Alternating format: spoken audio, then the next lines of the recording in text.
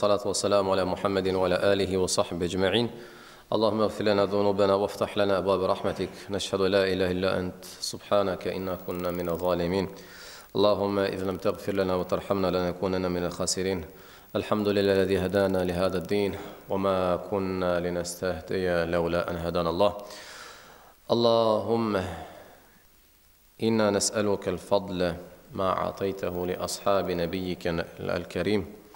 ونعوذ بك من كل ما استعاذك نبيك الكريم خاتم الأنبيين أما بعد فاد الله سبحانه وتعالى نك صلوات السلام na Božeg poslanika Muhammeda, na njegovu časnu porodicu, ashabi, na sve one koji slijede po dobro do sudnjega dana. Svjedočimo da nema drugoga Boga osim Allaha subhanahu wa ta'ala dostojnog obožavanja, kao i svjedočimo da je Muhammed njegov rob i poslanik jedino dostojan da se slijedi u potpunosti i cijelosti i svjedočimo da je svoju misiju dostavio od početka do kraja i da je najnejasnija stvar njegove misije i njegove poruke koju je poslao svome umetu poput sunca usred bela dana. Dakle, nema nejasne stvari.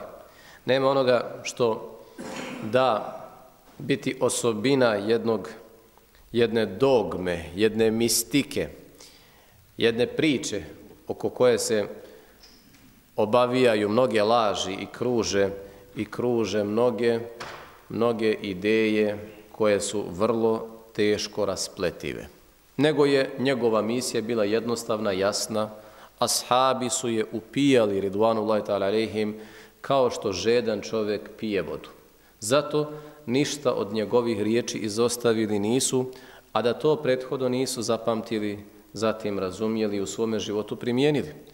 Zbog toga imate hadife koje prenose brojni učenjaci u razno raznim zbirkama i to nećete naći. Ni od bilo kojeg drugog poslanika, niti od bilo kojega učenjaka, niti od bilo kojih drugih učenika mimo ashaba. Što znači da je njegov govor bio razgovetan. Što znači da je njegova uputa bila potpuna.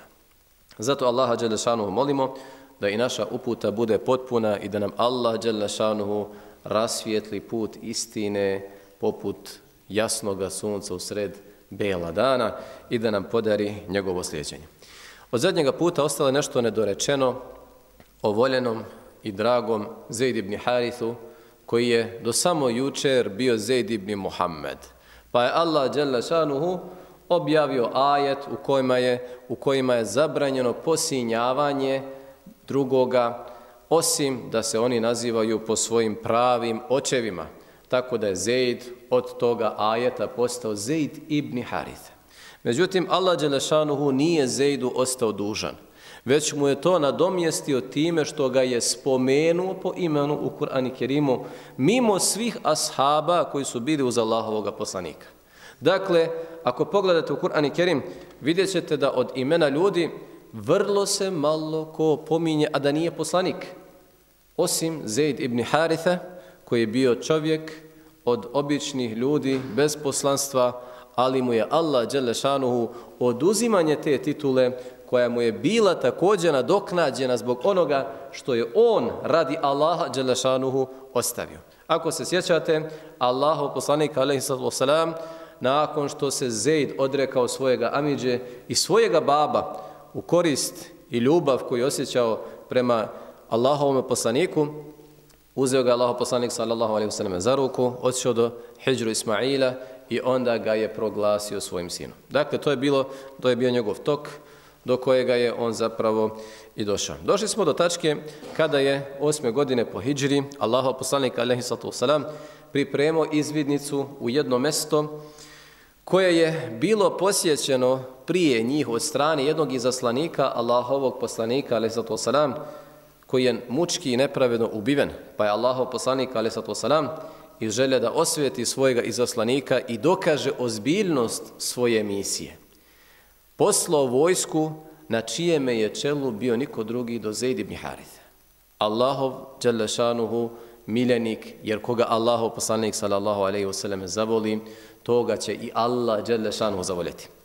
I onda u tome putu Allah poslanik alejhi salam znao je da postoji velika opasnost jer mjesto koje su ashabi ridvanullahi ta'ala trebali posjetiti, bilo je opkoljeno i dobro čuvano od strane, od strane Rimljana koji su dotada ovladavali najjačom i najmoćnijom vojnom strategijom i vojskom na licu zemlje, jer su prethodno porazili Persijance kao svetsku silu. Dakle, jedna mala skupina ljudi sudara se sa jednom ogromnom vojskom koja nije brojala ništa manje od 300.000 ratnika. U nekim predama stoji 200.000, međutim, zamislite, braćo moja, brojku od 200.000 ljudi, svih do, ru, do zuba naoružanih, spremni da ubiju, a među njima jedna mala skupina koja samo želi Allahovo dželešanu zadovoljstvo i izvršava naredbe sa kojima ih je Allaho poslanik sallallahu alaihi vseleme isporučio, odnosno poslao. To pokazuje da su ovi ljudi otišli zbog svetosti hala i statusa koje ima misija sa kojom je Allaho poslanik sallallahu alaihi vseleme došao. Nema šale. Dakle, onaj ko naudi izaslaniku Allahome poslanika, mi ga moramo obeštetiti. A da li ćemo od nekoga prezati, da li ćemo se od nekoga plašiti, pokazali upravo ova izvidnica, na čijem je čelo Allah poslanik sallallahu alaihi wasallam postavio svojeg najdražeg, najdražeg roba. Najdražeg Allahovog roba, to jest Zejda. Rekao je, ako Zejd pogine, što je i Allah poslanik sallallahu alaihi wasallam pretpostavljao, onda će ga zamijeniti u predvodništvu Džafer ibn Abi Talib. A ako Džafer pogine, onda će ga u predvodništvu zamijeniti Ubejde ibn Rabah. Allahu poslanik sallallahu alejhi ve sellem nikad kao prije u ovoj bitki imenovao je trojicu ljudi koji će predvoditi vojsku. Zbog, kao što smo rekli, težine zadatka. Kada su stupili u boj, Zaid ibn Harithe se mučki borio protiv nevjernika, koji su napali i ubili izaslanika Allahovog poslanika sallallahu alejhi ve selleme i boreći se Bajrak je svoj ruku ispustio pa je taj Bajrak Džafer ibn Abi Talib preuzeo pa je i on pogubljen bio pa je onda to preuzeo Ubejd ibn Jarrah koji je također pogubljen bio i onda je Bajrak preuzeo čovjek koji do tada, ani od tada, nijednu bitku u svome životu izgubio nije, Khalid ibn Walid, radijallahu ta'ala anhu. Kada je Allah poslanik sallallahu alaihi wa sallam čuo za njegov haber, čuo za vijest o Zeidu, vrlo se rastužio. I znajte ovo, braću, Allah poslanik sallallahu alaihi wa sallam na mnogo mjesta plakao. Plakao je zbog smrti Hamze, plakao je zbog smrti Mus'aba, plakao je zbog smrti Đulejbiba, Međutim, samo je na jednom mjestu plakao glasom.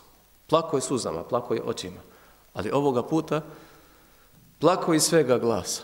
Pa su mu rekli, ja Rasulullah, zbog čega tako plačeš? Kaže, ovo je plač voljenog za voljenim. Koliko je Allah poslanik, alaih sato wasalam, volio Zejda, pokazujem zapravo ovaj hadith od poslanika, alaih sallatu wasalam. Molim Allaha Đerlešanuhu da Zaid ibn Harithu nadomjesti tu njegovu žrtvu i taj njegov gubitak koji imao na Dunjaluku društvom sa poslanikom Muhammedom sallallahu alaihi wasallame u džennetu firdevsu i da mi, braćo moja, budemo uz njih jer najbolje su oni doista društvo.